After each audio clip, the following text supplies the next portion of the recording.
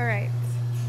So I'm trying my hand at making a video in the greenhouse and I have your guys' grafted veggies and surprisingly some of them were successful.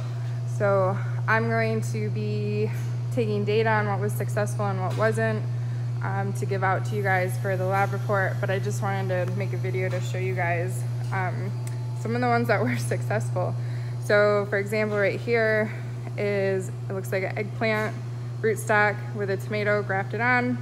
I took the clip off so I could take a look at the union. It's not perfect.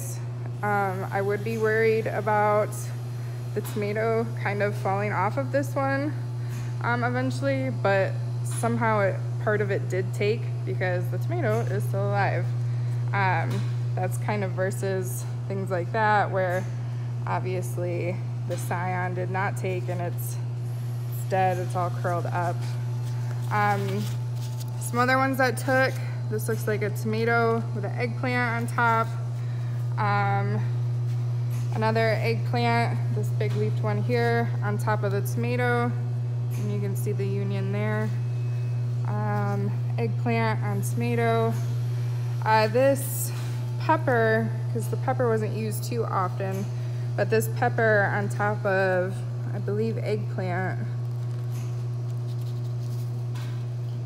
does look like it took, surprisingly.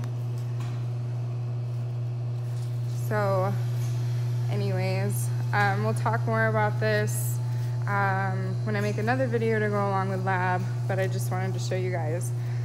Uh, also because really no one's allowed inside the greenhouses at this time. Um, Heather and I are still taking care of your plants.